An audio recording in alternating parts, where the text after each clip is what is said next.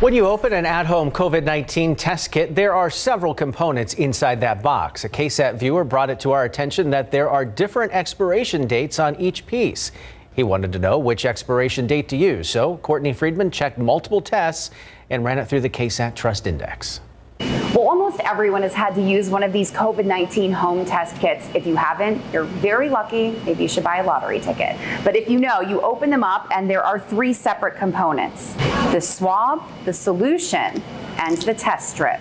The iHealth box has an expiration date on the back. If you look closely, so do the swabs and solution, and all three are different. We also checked a Binax Now test, another brand sent out by the government. This box has an expiration date of April 26, 2023. The swab is January 1st, 2027. Dr. Fred Campbell with UT Health San Antonio Internal Medicine says this can understandably cause confusion. The expiration date on the outside of the box is generally considered to be uh, the most important expiration date you can use and the one that that you should use over all others. The expiration date on the box directly correlates with the test strip, arguably the most important part of the kit. And you can tell because there is no expiration date on the packaging or the strip itself. The proof even more clear in the Binax tests where there is a date on the strip package and it's the exact same as the one on the box. And it could very well be that they are perfectly reliable up to those dates.